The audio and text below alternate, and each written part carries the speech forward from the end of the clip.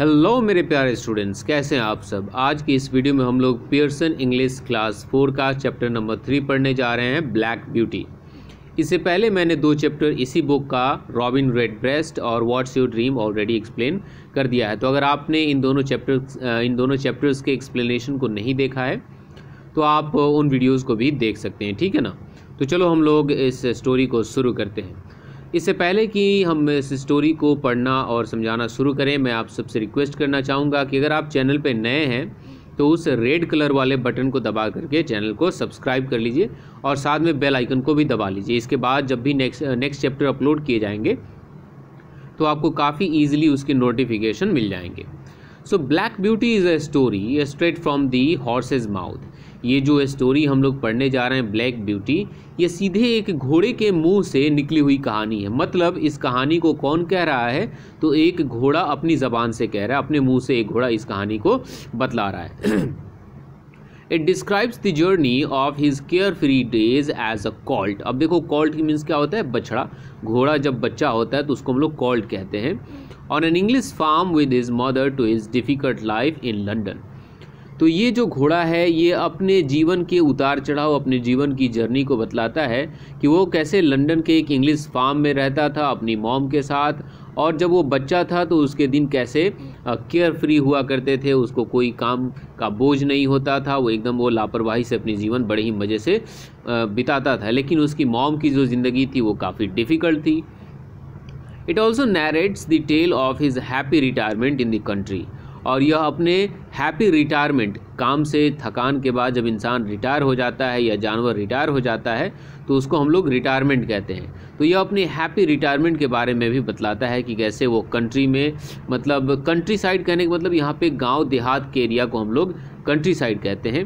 तो अपने रिटायरमेंट के बारे में भी हमें बतलाता है। Let read about one of the incidents in his life तो उसके लाइफ की घटनाओं के बारे में चलो हम लोग उसके उसके लाइफ में जो बहुत सारे इंसिडेंट्स हुए से इंसिडेंट्स हुए हैं, उनमें से एक इंसिडेंट के बारे में हम लोग इसमें समझेंगे, ठीक है?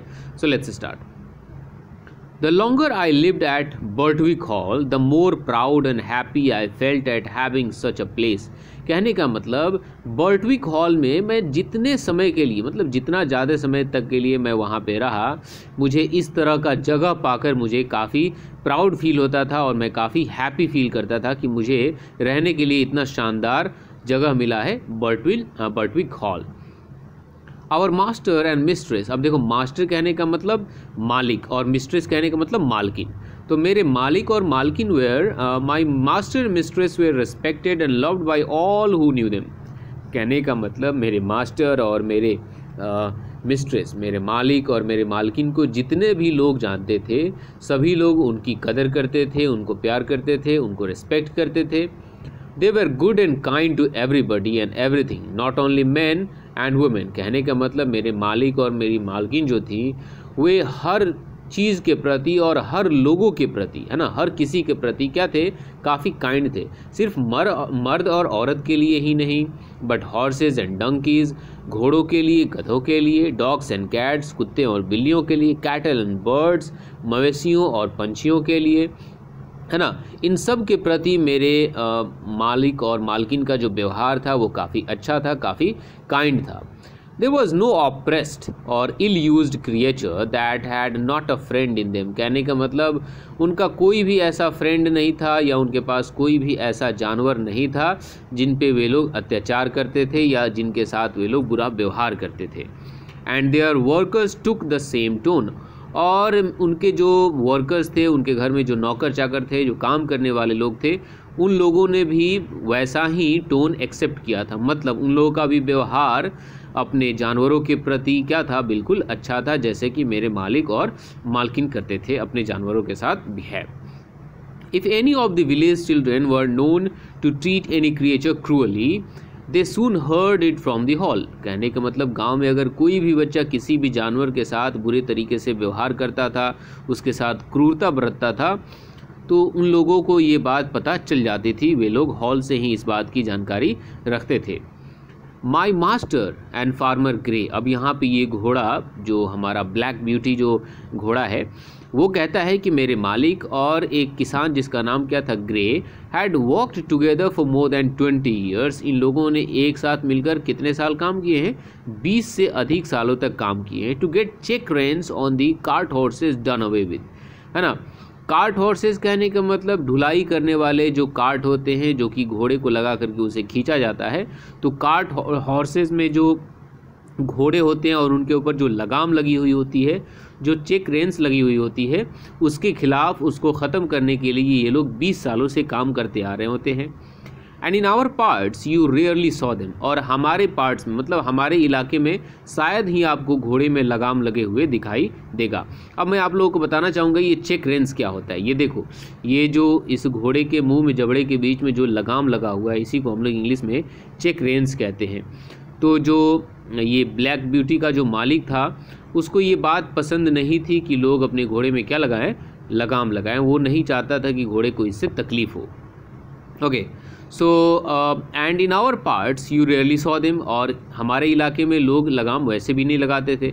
And sometimes if mistress met a heavily laden horse she would stop the carriage and get out कहने का मतलब अगर मेरी मालकिन कभी भी किसी घोड़े को देखती थी जिसके ऊपर बहुत ज़्यादा सामान लादा हुआ होता था तो वो अपनी गाड़ी को रोकती थी और बाहर निकलती थी। And tell the driver in her sweet serious voice how foolish and cruel it was और उस ड्राइवर को बताती थी कि वो कितना बेवकूफ़ है और वह उस जानवर के साथ कितना बुरा व्यवहार कर रहा है, उसको कितना बुरी तरीके से उसके ऊपर बोझ डाले हुए है है ना? वो उसको बताती थी अपने प्यारे से और सीरियस वॉइस में।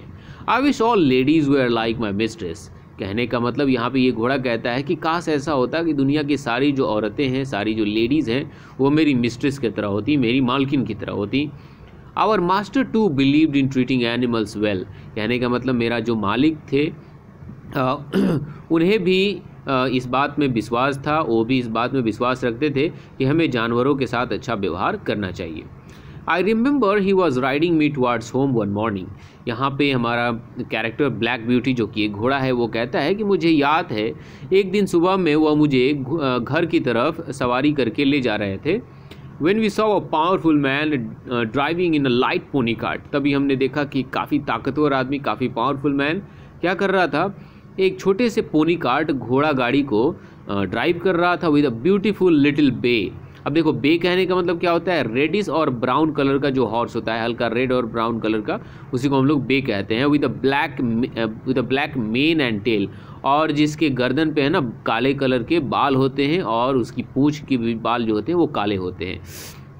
तो यहाँ पे बताया गया है कि हमने एक इंसान को देखा जो कि एक छोटे से पोनी कार्ड को घोड़े गाड़ी को क्या कर रहा था?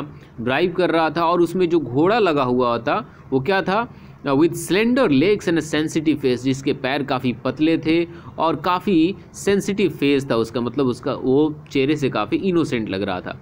अब देखो यहाँ पे इसी घोड़े की बात हो रही है और यहाँ पे इस घोड़े के आ, सिर पे इसके गर्दन पे जो आपका जो बाल दिख रहा है ना इसी को हम लोग मेन कहते हैं M A N E mane है ना? इसके गर्दन पे जो सुनहरे लंबे बाल होते हैं इसको हम लोग मेन कहते हैं और इसकी पूँछें जो होती हैं उस पर भी ऐसे ही बाल होते हैं आ, इस कलर के okay?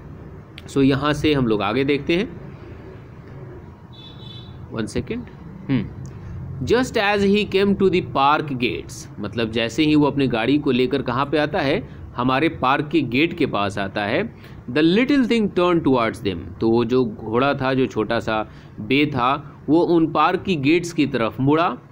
The man without word or warning वो इंसान क्या करता है? Without word of warning turn the pony's head with such a force and suddenness that it nearly fell तो उस इंसान ने उसको क्या किया? बड़ी ही ज़ोर से और अचानक से ऐसे मोड़ा, ऐसे खींचा, जैसे कि लगा कि वो अब गिर सा गया है। है ना? यहाँ पे देखो, जब ये किसी दूसरे डायरेक्शन में ये घोड़ा मुड़ता है तो ये उसको क्या करता है? वापस दूसरे डायरेक्शन में खींचता है है ना? और इसी को हम लोग चेक रेंस कहते हैं, इसी को हम लोग लगाम कहते हैं, है ना? और ये जो ब्लैक ब्यूटी था, इसके जो मालिक थे, वो इसी लगाम के ख़िलाफ़ थे। वो नहीं चाहते थे कि घोड़े को लगाम में बाँध कर रखा जाए। है ना? तो वो बड़े ही ताकत के साथ, बड़े ही, है ना फोर्स के साथ क्या करता है? उसको दूसरे डायरेक्शन में टर्न करता है। रिकवरिंग और जिससे वो घोड़ा जो है ना, लगभग गिर सा जाता है। Recovering itself it was going on वो घोड़ा, वो छोटा सा जो बे है, वो खुद को संभालते हुए, खुद को सुधारते हुए क्या करता है? खड़ा होता है और फिर आगे बढ़ना शुरू करता है। When he hit it furiously और उसी समय वो आदमी उसको मार भी रहा होता है। द पोनी प्लंज्ड फॉरवर्ड और ये जो छोटा सा जो घोड़ा है, ये काफ़ी तेज़ी से आगे की तरफ़ बढ़ रहा होता है but the man's hand held the pony back with force enough to hurt its jaw लेकिन ये आदमी जो है ना, उसको लगाम के साथ काफ़ी ज़ोर से पीछे से पकड़े हुए होता है, जिसके वजह से उसके जबड़े में काफ़ी तकलीफ़ भी होती है। आपको यहाँ पे दिख रहा होगा, ये घोड़ा आगे बढ़ रहा होता है और ये इस लगाम को पकड़ के पीछे खींच रहा होता है, जिससे इसको, इस घोड़े को काफ़ी तकलीफ़ होती है। While the whip still cut in to it और इसी दौरान वह उसको विप मीन्स होता है, चाबुक से उसको पीट भी रहा होता है। It was a dreadful sight to me यहाँ पे हमारा ब्लैक ब्यूटी जो घोड़ा है, वो कहता है, मेरे लिए ये जो दृश्य था, वो काफ़ी डरावना था but master asked me to speed up लेकिन मेरे मालिक ने कहा कि जल्दी चलो। And we reach the cart in a second और हम लोग वहाँ पे उस इंसान के गाड़ी के पास कुछ ही सेकेंड्स में पहुँच गए। इसके बाद क्या होता है? Sawyer he cried in a stern voice is that pony made of flesh and blood अब देखो, उस इंसान का नाम क्या था? सवेयर तो हमारे मालिक जो हैं, वो चिल्लाते हुए कहते हैं कि क्या वो घोड़ा, क्या वो घोड़ा, क्या वो पोनी, है ना, मांस और हड्डी का नहीं बना है, जो तुम इतना बुरे तरीक़े से उसके साथ व्यवहार कर रहे हो? वो इंसान रिप्लाई कर रहा है flesh and blood and temper he said कहता अच्छा ये इंसान, ये जो घोड़ा है, वो मांस का, हड्डी का और गुस्से का बना हुआ मतलब ये जो घोड़ा है, वो काफ़ी गुस्सैल है। It's too fond of its own will and I don't like it कहने का मतलब ये हमेशा अपने में मस्त रहता है, हमेशा अपनी मनमौजी करता है और मुझे ये पसंद नहीं, है ना? अब ये अपनी मनमौजी क्यों कह रहा है? क्योंकि वो घोड़ा जो है ना यहाँ पे इनके पार्क, वो जो पार्क का जो गेट था उसकी तरफ़ मुड़ जाता है। इसी को लेकर वो कहता है कि ये मेरी बात नहीं मानता और अपनी मनमौजी करता है। He was a builder who had often been to our place on business अब यहाँ पे बताया गया है कि वो जो आदमी था, जो उस छोटे से नाजुक से घोड़े को काफ़ी परेशान कर रहा था, वो एक बिल्डर था और वो अक्सर इन लोगों के यहाँ पे बिज़नेस के लिए आता जाता रहता था। इन लोगों के जगह पे वो आता जाता रहता था। And do you think, said Master sternly, that that treatment like this, uh, sorry, and uh, do you think, said uh, said Master sternly, that treatment like this will make it listen to you? अब यहाँ पे आ, मालिक कहते हैं ये जो Black beauty के जो मालिक हैं वो कहते हैं उस इंसान से कि अच्छा तो तो तुम्हें क्या लगता है कि जिस तरीके से तुम उसके साथ व्यवहार कर रहे हो वो तुम्हारी बात सुनेगा है ना? It should not have turn towards your place the road was straight on said the man रफली तो वो इंसान गुस्साते हुए कहता है कि अच्छा तो इस घोड़े को तुम्हारे घर की तरफ़, तुम्हारे प्लेस की तरफ़ मुड़ने की क्या ज़रूरत थी? रोड तो सीधा था तो इसको सीधा जाना चाहिए था, है ना? ये क्यों मुड़ा? ये अपनी मनमौजी क्यों करता है? इसीलिए मैं इसे मारता हूँ, इसे पीटता हूँ और मैं इस पर लगाम लगा के रखता हूँ। You have often driven that pony up to my place said the master है ना? It it only shows the creature's memory and intelligence how did it know that you are not going there again कहने का मतलब क्या हुआ? कि आ, इसके black beauty के जो मालिक हैं वो कहते हैं कि तुम अक्सर इस घोड़े को लेकर हमारे यहाँ आते जाते रहते हो है ना? और उसके मुड़ने का उसके मुड़ने का मतलब यही है कि ये क्रिएचर ये प्राणी के मेमोरी को बतलाता है कि एक बार अगर घोड़ा गाड़ी एक जगह पे चला जाता है तो उसका वो जगह का रास्ता उसको याद हो जाता है है ना? तो हो सकता है कि उसे पता चले कि वो दोबारा वहीं पे जा रहा हो और वो उधर मुड़ जाता है है ना? वही बात यहाँ पे बताई गई है कि ये क्रिएचर का किसी भी प्राणी का मेमोरी है, उसकी इंटेलिजेंस उसकी बुद्धिमानी है कि वो रास्ते को याद कर लेता है। और फिर हमारे मालिक कहते हैं कि, और उस घोड़े को ये बात कैसे पता चला कि तुम हमारे जगह पे दोबारा नहीं जा रहे हो? है ना? ये बात तो उसे पता नहीं। I must say Mister Sawyer that I have never witnessed a more brutal treatment of a little pony and by such anger you injure your own character more than you injure your horse and remember we shall all have to be judged according to our works whether they be towards man or towards beast यहाँ पे कहने का मतलब वो हमारे black beauty के जो मालिक है, वो कहते हैं कि मैंने आज से पहले किसी भी ऐसे इंसान को नहीं देखा है जो कि किसी घोड़े के साथ, जो कि किसी छोटे से घोड़े के साथ इतना बुरी तरीके से, इतना ब्रूटल ट्रीटमेंट करता है। और फिर यहाँ पे कहते हैं कि ये जो तुम्हारा गुस्सा है, जिससे तुम घोड़े को क्या कर रहे हो? इंज्योर कर रहे हो, घोड़े को परेशान कर रहे हो इससे कहीं ज़्यादा तुम अपने कैरेक्टर तुम अपने चरित्र को भी क्या कर रहे हो? इंज्योर कर रहे हो, अपने कैरेक्टर को भी बर्बाद कर रहे हो, है ना? और याद रखो, है ना? जब इंसान को जज किया जाएगा, मरने के बाद, हो सकता है क़यामत के दिन जब इंसान को जज किया जाएगा तो उसके अपने वर्क के प्रति उसे जज किया जाएगा, भले वो इंसान के प्रति हो या जानवर के प्रति। चाहे आपने इंसान के साथ अच्छा किया है या बुरा किया है, या आपने जानवर के साथ अच्छा किया है या बुरा किया है, इन सबको मिला करके आपको जज किया जाएगा और फिर बताया जाएगा कि आप नर्क में जाएँगे या स्वर्ग में जाएँगे। ये बात यहाँ पे बताई गई है इनडायरेक्टली ठीक है ना?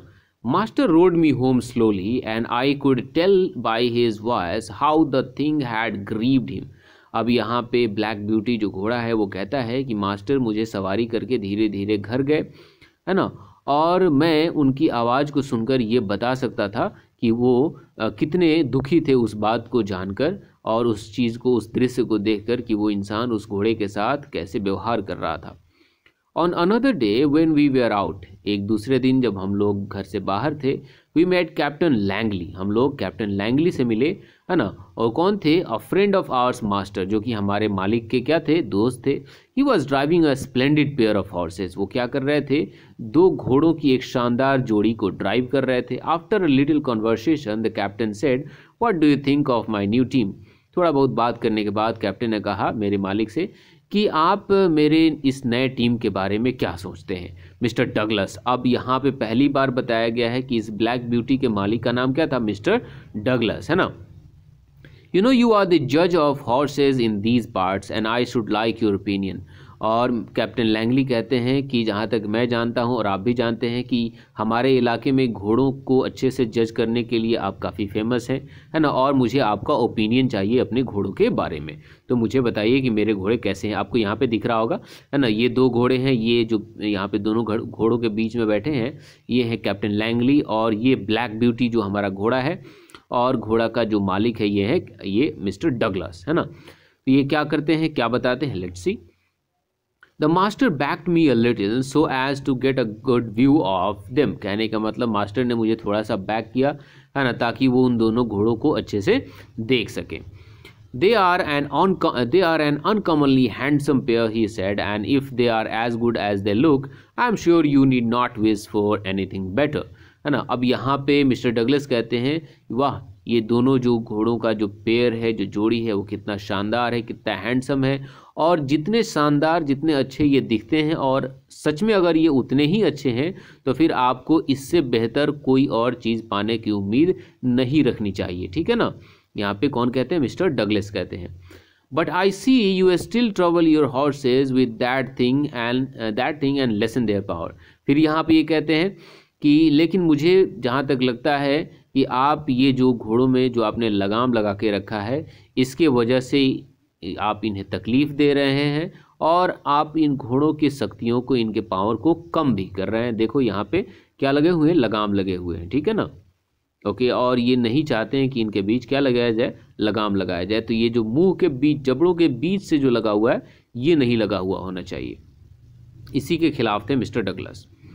What do you mean by that thing said the other check reins. Oh, ah, I know, uh, I know, stopping those is a hobby of yours. Well, the fact is, I like to see my horses hold their heads up.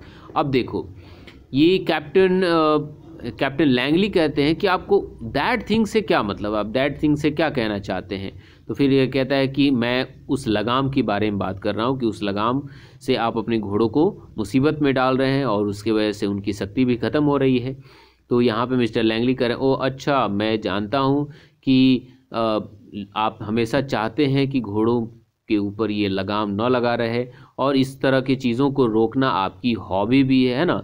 लेकिन सच बात यह है fact ये है कि मैं चाहता हूँ कि मेरे घोड़े जो है ना हमेशा अपने सिर को ऊपर रखें है ना? ये बात कैप्टन लैंगली कहते हैं। इसीलिए मैं क्या मैंने क्या किया है? इनके ऊपर लगाम लगाया है। So do I I said master है ना? मेरे मास्टर ब्लैक ब्यूटी कहता है कि मेरे मास्टर ने कहा कि मैं भी ऐसा ही चाहता हूँ कि मेरे घोड़े कभी भी अपने सिर को नीचे न रखें but I don't like to see them held up लेकिन मैं उन्हें बंधे हुए भी नहीं देखना चाहता हूँ, है ना?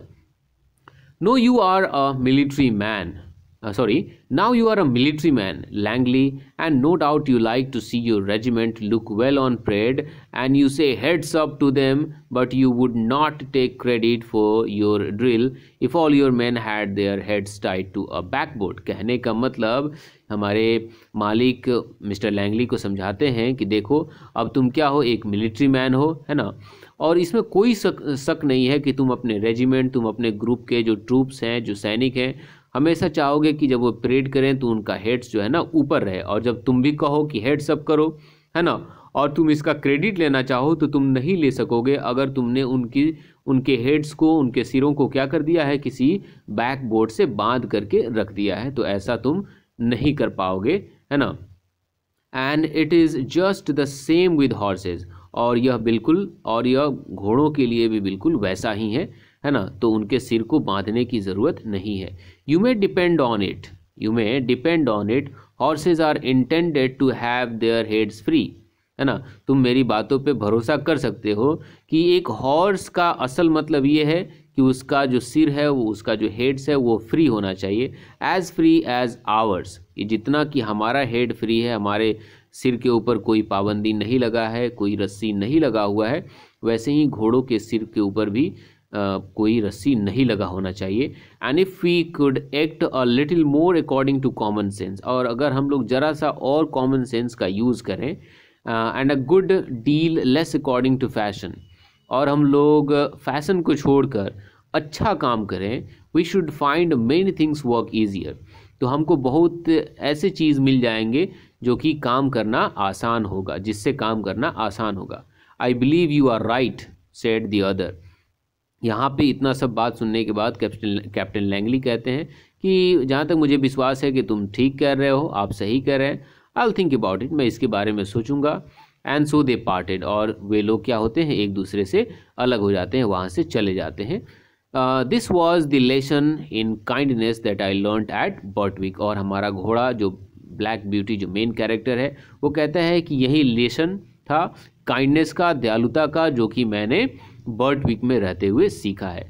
और यहाँ पे हमारा स्टोरी दी एंड हो जाता है। और ये स्टोरी ब्लैक ब्यूटी जो है, वो ब्लैक ब्यूटी से लिया गया है एना सिविल के द्वारा। तो एना सिविल जो हमारी ऑदर हैं, इनका एक नोवेल है, पूरा का पूरा जो नोवेल है, उसका नाम है ब्लैक ब्यूटी और उसी का एक छोटा सा पोर्सन है, एक उसका चैप्टर है। तो चैप्टर का एक्सप्लेनेशन कैसा लगा आप लोग, मुझे कमेंट करके ज़रूर बताइएगा। वीडियो अच्छा लगा होगा तो लाइक कीजिएगा, चैनल पर नए होंगे सब्सक्राइब कीजिएगा। मिलते एक नए चैप्टर के साथ तो अगले बाय